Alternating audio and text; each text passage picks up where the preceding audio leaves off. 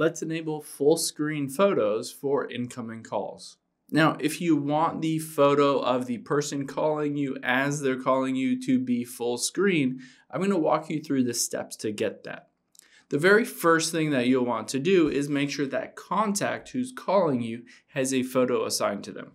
So I'm going to swipe over and just open up my contacts here. And I'm just going to choose on my card or now let's just choose like a random person. I'm going to choose Haley.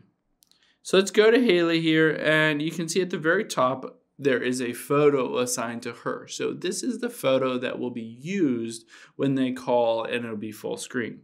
You can always tap edit at the top right here and then edit again and choose a different photo or emoji or anything like that. A you know, emoji, anything you want. So that'll be what shows up. You can tap the little photos icon here if you wanted to say set a photo. So let's say I'm going to set this photo for whenever she calls and hit choose. And then hit done and done and done. So now that I've done that, I've set a photo for that specific person. I need to go back into my settings. So let's go into our settings Oh, you'll see the settings like this. We'll scroll down until we get to phone and tap on phone.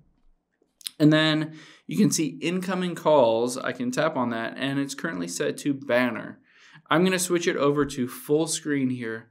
And now, no matter if my phone is locked or unlocked, whenever Haley calls me, it'll show her face and say incoming call from Haley. So keep in mind that that person needs a photo assigned to them, and you need to go in here and make sure that you set it to full screen. Hope this helps. Thanks for your time today, and I'll see you on the next one.